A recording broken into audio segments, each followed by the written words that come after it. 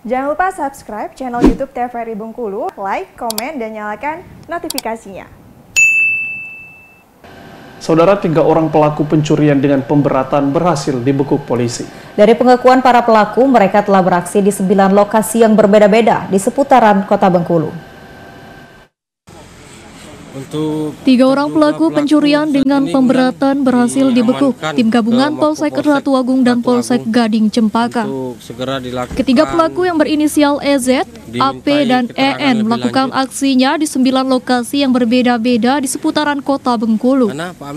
Disampaikan Kapolsek Ratu Agung AKP Yoga Tama, ketiga pelaku ini berhasil ditangkap di kawasan Kebun Keling, Kecamatan Teluk Segara.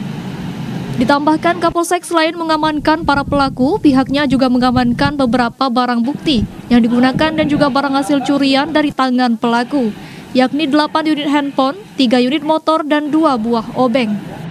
subuh tersebut untuk eh, barang-barang yang diambil seperti yang ditampilkan di sini ada beberapa barang pribadi dan HP lumayan banyak ini alat yang digunakan itu di sana mungkin bisa diliput juga sekalian untuk kendaraan yang digunakan oleh para pelaku untuk eh, melakukan tindak pidana kejahatannya. Saat ini untuk ketiga pelaku dan juga beberapa barang bukti yang turut diamankan masih dilakukan pemeriksaan lebih lanjut oleh penyidik Polsek Ratu Agung.